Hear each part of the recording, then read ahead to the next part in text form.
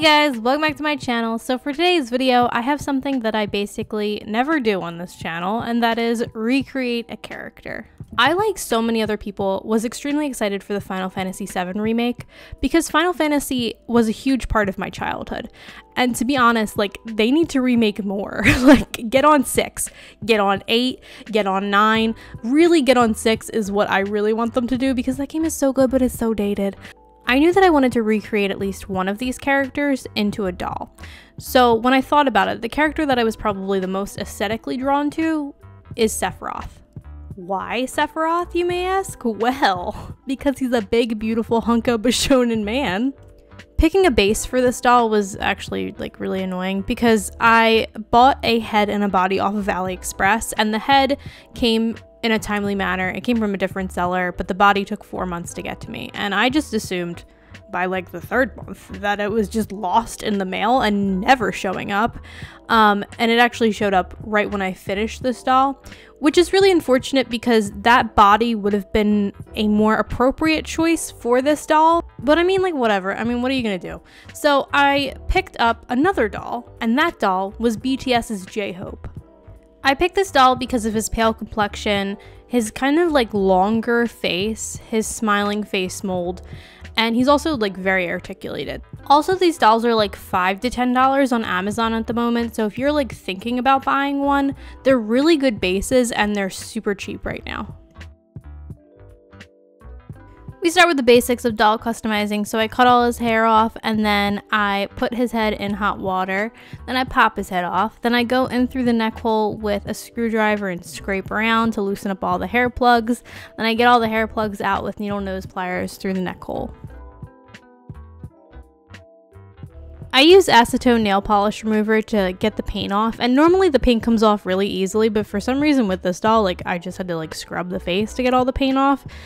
I ended up using Q-tips and for some reason that worked way better than the cotton rounds that I was using. But yeah, it just took me like 10 minutes to get all this paint off. I don't know why it was such a nightmare.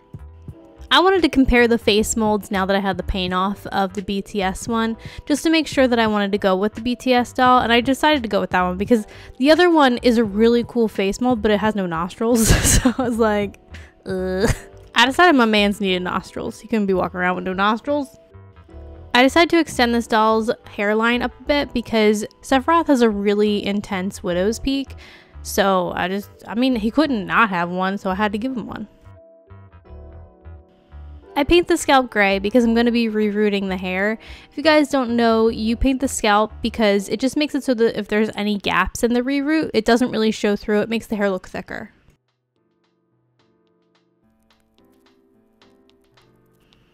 So you guys might be wondering how we're going to extend up the hairline. How we're going to do that is we're going to take Epopsy, Epopsy, who is she? Epoxy Sculpt.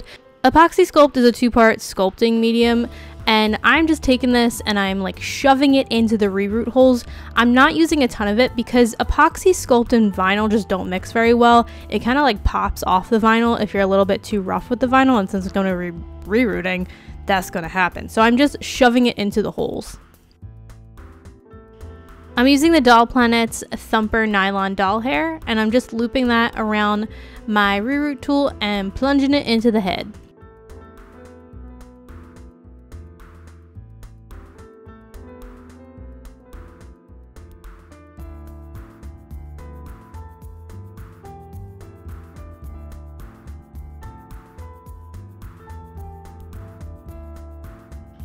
I set the hair in place with Fabri-Tac glue, squeezing it through the neck hole. And fun fact, I hate Fabri-Tac glue. Like, I just hate it. So I decided to try using Elmer's glue all with this doll. I squeezed some of that in through the head, and uh, don't do that. so it got really, really hard in there, and I almost ruined the face up trying to get the head back on. I sand down the epoxy a little bit and then I go over it with acrylic paint that I mixed together in a flesh tone. And here he is. Was it worth it? Probably not, but you know, I think he looks a little bit more Sephiroth I spray the doll three times Mr. Super Clear and then I get into the face up. Painting this doll was a little bit weird for me um, because I had to, I mean, it's a portrait doll, so I had to make him look like Sephiroth. I couldn't just, you know, paint him in my style. I guess I could, but that wasn't really what I wanted to do. I wanted to make it look recognizably like Sephiroth. Um, and I looked at tons of different photos of him for reference, but I mainly looked at these three. I feel like after looking at way too many pictures of his face, I sort of noticed a couple recognizable traits. One of those was that his face is almost like gray toned. It's like very, very cool toned in a lot of different shots. He sort of looks sickly. Um, and also, his nose is super, super defined. So I almost had to contour the nose on this doll to like an uncomfortable level because I didn't, I wasn't really aware of this, but this doll's nose is not bony at all. Like, it doesn't have a whole lot of form to it. Um, so I just had to contour, I had to contour it a lot. Like, to the point where I was like, does this look bad? Maybe it looks bad.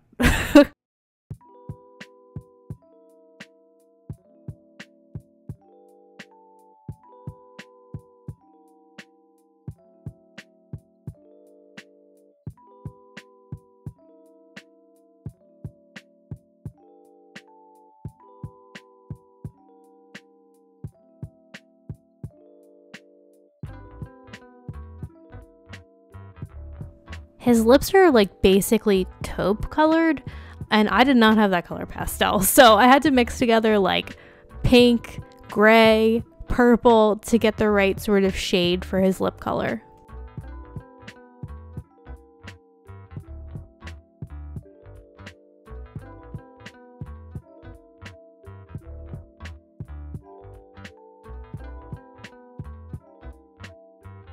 The eyes on this doll I mean, they're the tiniest eyes I've ever painted. they're just like really small. These BTS dolls have similar proportions to Barbie dolls, where, um, I mean, they have like pretty tiny heads. So the eyes were like super, super tiny. Also, Sephiroth has kind of tinier eyes to begin with, so I had to make like really tiny eyes. I think when it comes to like if you're used to painting Monster High and Ever After High dolls and then you paint a Barbie, my biggest like sort of tip would be is to not not try to over detail the eyes. I was like having trouble where I was like, oh, I want to get all the details I always get with my other dolls in this doll. And it's just like my paintbrush was just not tiny enough. Like it just was not working. I think sometimes less is more because it's just real easy to make an area on these tiny, tiny, tiny faces look really busy.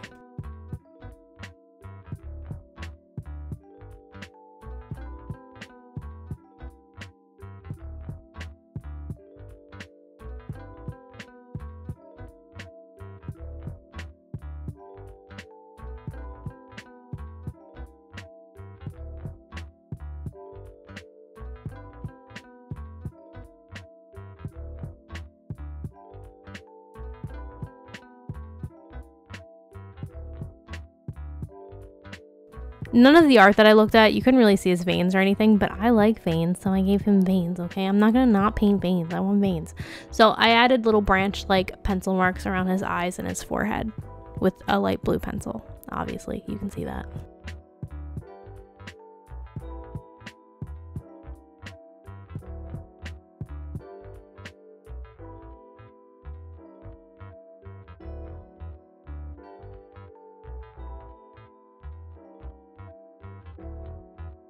By the way, has anybody been playing the Final Fantasy VII Remake?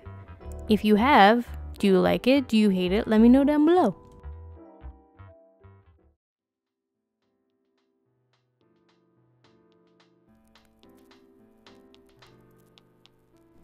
Sephiroth's eye color is always a bright green, although sometimes it fluctuates and it's like a more of a tealy, minty bright green, and then sometimes it's just like kind of a straight up bright green. Um, I decided to go in with one of my lightest greens that I have, and that's a mint colored green pencil for his eyes.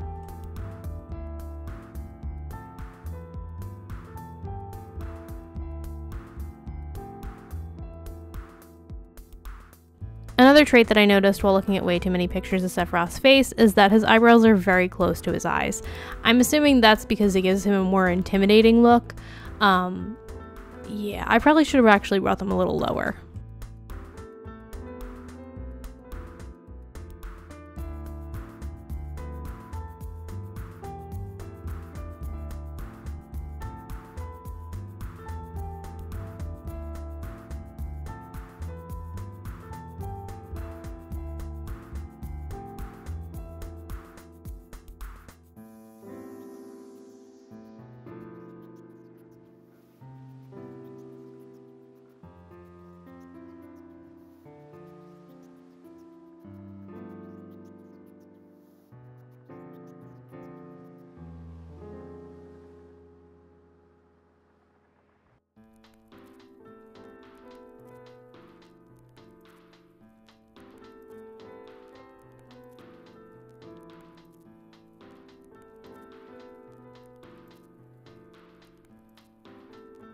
Another pretty distinguishing trait is that he has snake eyes.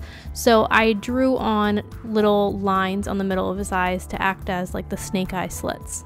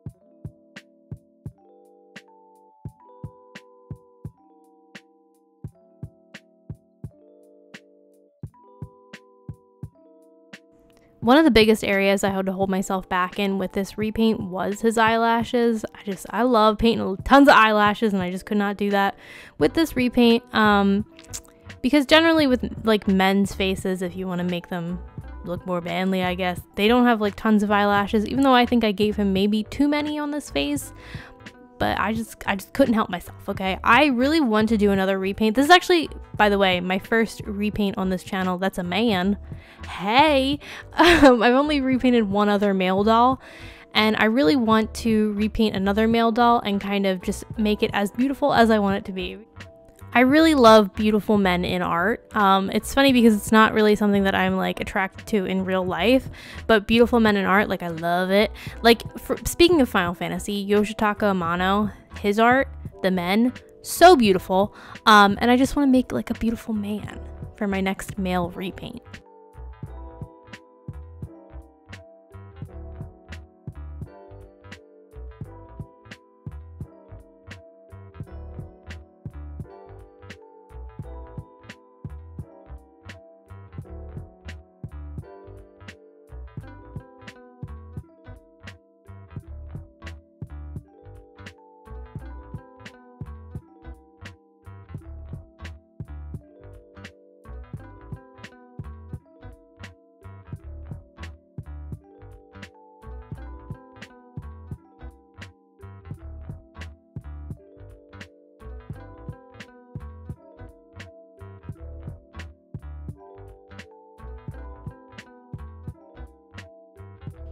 With Vallejo's gloss varnish, I apply some gloss to his lips.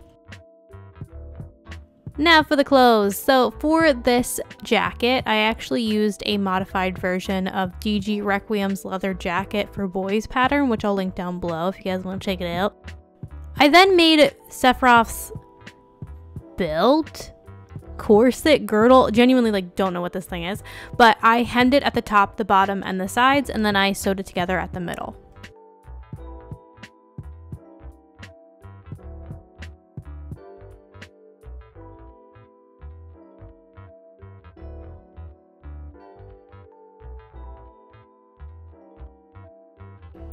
Now onto the pants. So I deconstructed the pants that he came with to get the pattern. These are like each one of the leg of the pants, just so you know what you're looking at. I hemmed the top and the bottom of the pants and then I basically sewed them good side to good side to form sort of a tube shape, flipped them, and then sewed them together at the crotch.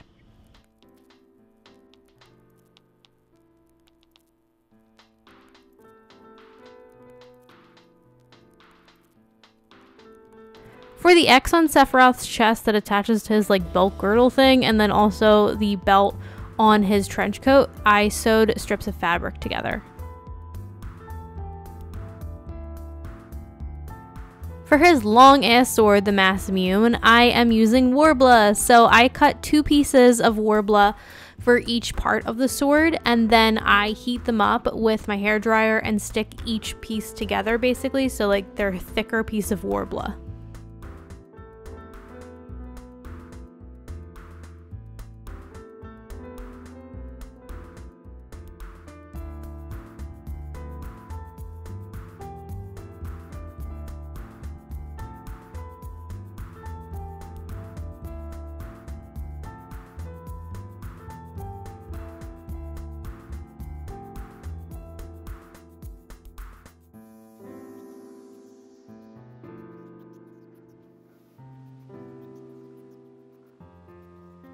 I guess I lost footage of me attaching the handle to the sword or the handle to the blade, but um, I did that as well. And then I colored the, or I painted the sword with acrylic paint.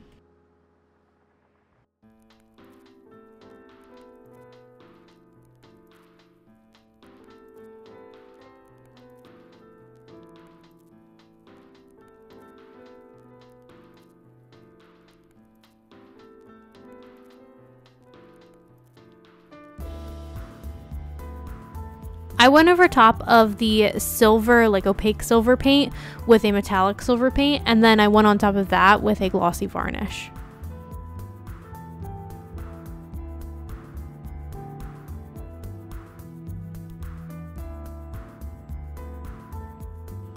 There seemed to be a couple different versions of the Masamune. I think the one that I was looking at had fabric wrapped around the handle, so I took that pleather fabric that I've been using like a strip of it, and I wrapped it around the handle and I glued it in place with hot glue.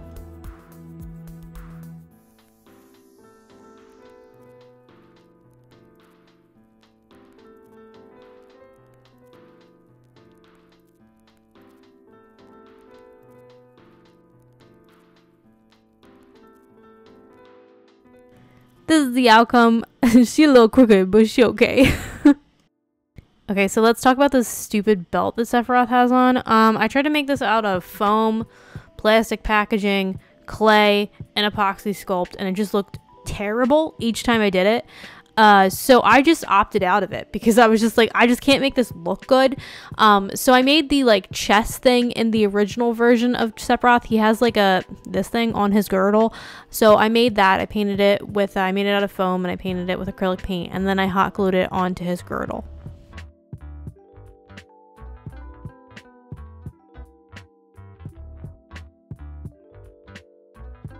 Guess what, you guys? I actually made shoes. If you've been around this channel, you know, like, I just don't even want any parts of making shoes, but I made shoes. Or I made boots, rather.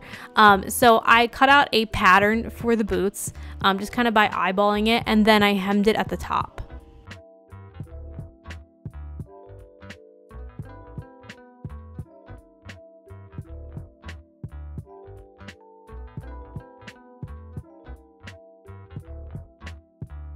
I then wrapped it around his leg and sewed it good side to good side up his leg.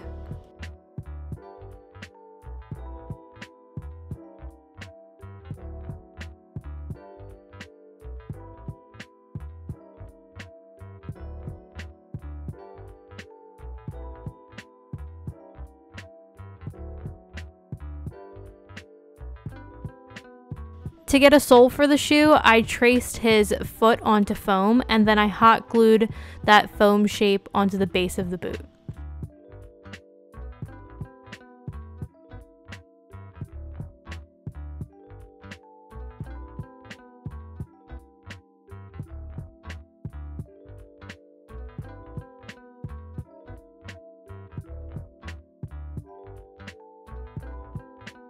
I painted the sole of the shoe black and then there was like a little gap between the sole of the shoe and then like where the leather or pleather boot meets.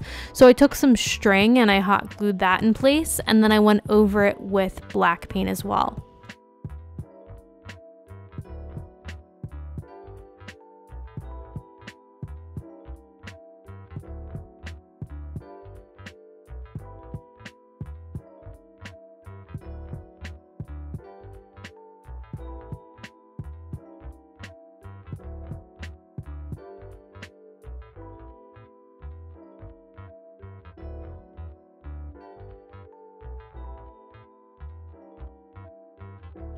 This is actually a really easy way to make boots. So if you guys are, you know, you want to make some super easy shoes, this is pretty easy. I blushed his body with the same color pastels that I used on his face.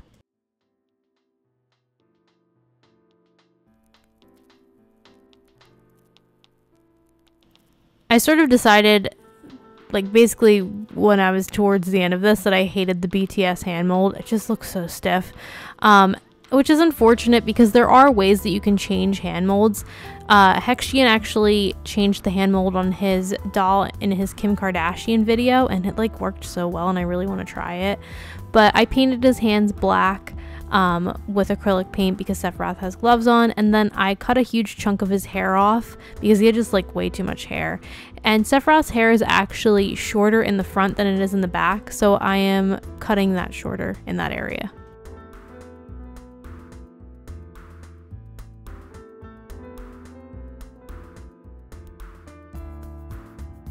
I decided that um, his trench coat was just like really boring. so also, I don't know why I didn't do this in the beginning, but he has a bunch of like belts and like loops or whatever on his trench coat. So I made those. I made the belt loops with wire. I just like bent them and then I sewed the uh, belt loops to strips of tiny little strips of leather. It's kind of cute, isn't it? And I sewed like a million of them to his jacket. I also painted the zipper onto his jacket with metallic silver paint. Something that sort of bummed me out with this doll is that he is the first doll that I've ever sewn into clothing. Um, I kind of like like making all my dolls have removable clothing because it just feels better, you know? Like being able to remove whatever I want to remove.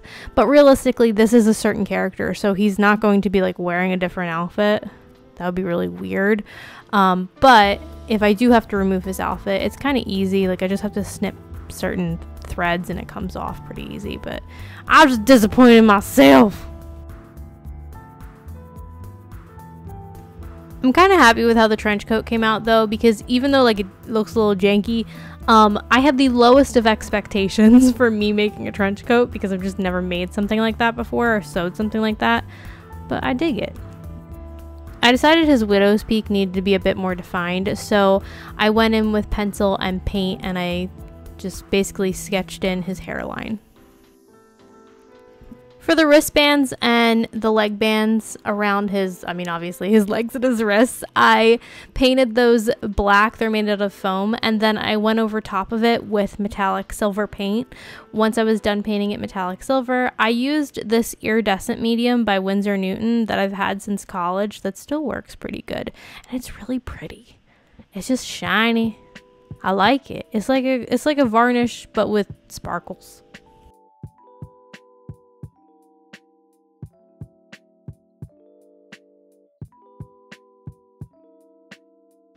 I hot glued each one of the bands in place.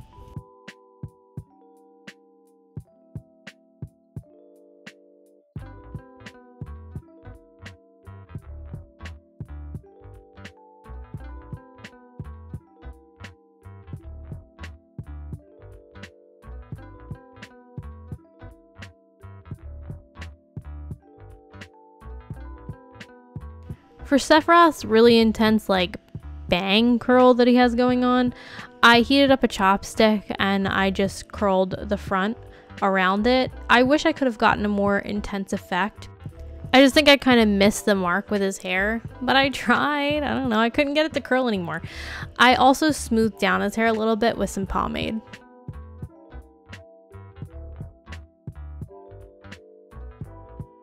Okay, so let's talk about his armor and how like frustrating it was for me. So I made it once before and it just looked really bad. Um, so I decided to remake it. When I remade it, I made it with more layers of the foam that I have. Um, so that just makes him look a little bit bulkier, which I think lends to Sephiroth's kind of like he's a very like sort of looming, tall, big presence that I just don't think I was getting before with the other armor.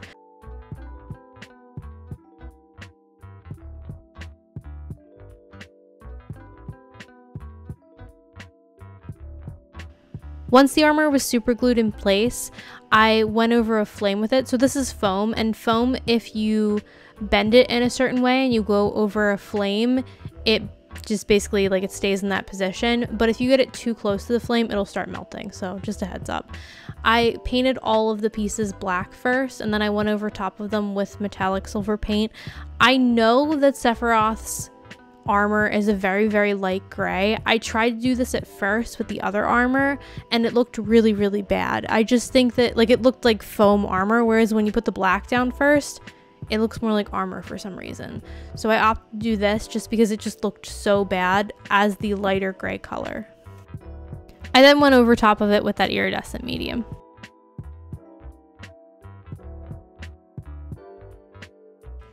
With hot glue, I hot glued the armor in place.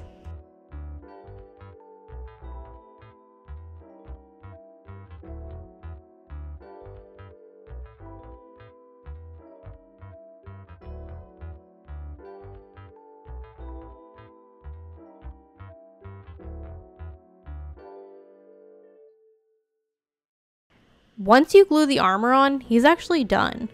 And is he perfect? No. But I like him regardless. Like, honestly, I just didn't really know how this project would go because it's very different than what I'm attracted to with dolls. I feel like with dolls, I'm very attracted to like super girly, sort of like pink pastel things. Um, and this is so far removed from that, but I still really like how he turned out. Do you guys have a favorite Final Fantasy? I think my favorite is actually 10. Um, I just really, really, really like 10. I haven't played the newer Final Fantasy games just because, like, I didn't keep up with the consoles. I don't know. I got busy, okay? Adulthood happened. um, but if you guys have a favorite Final Fantasy game, let me know what that is down below. I was thinking of making a Cloud doll or an Aeris doll, or maybe I'll make a Final Fantasy X doll. I don't know. If you guys would be interested in seeing that, let me know. Um, like this video if you like this video, subscribe, it makes me happy, and I hope you guys are having a beautiful day. Bye!